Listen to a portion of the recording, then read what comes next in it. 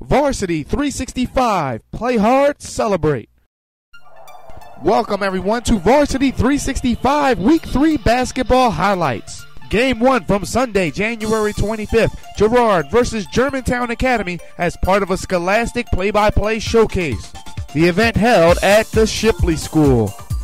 Let's pick up action in the second half. That's Eric Ushak of Germantown Academy going up strong. Germantown Academy off the rebound. They're running and gunning. Cameron Ayers stops and pops and hits the jumper. And back inside we go as Ayers sets up teammate Jeff Holton. Nice up fake and he hits the two. But don't count out Girard off the steal. They do some running and gunning of their own. John Johnson to Lance Devereaux who throws it down.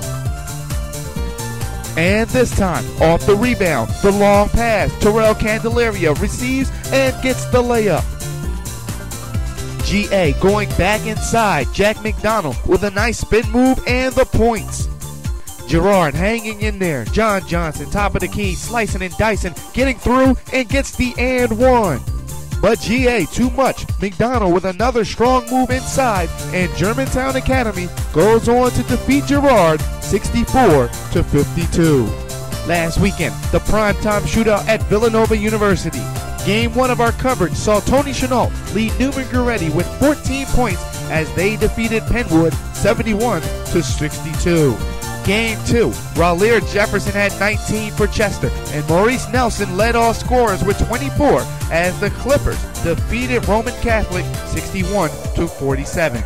Game three from last Saturday, a great one between Pennsbury and Norristown. Dalton Pepper, leading scorer with 22, as Pennsbury beat Norristown in overtime 61 to 54.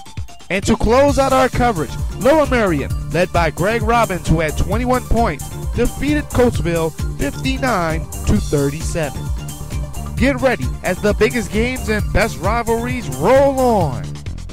For Varsity 365, this has been Marcus Wright. Thank you for watching and have a good night.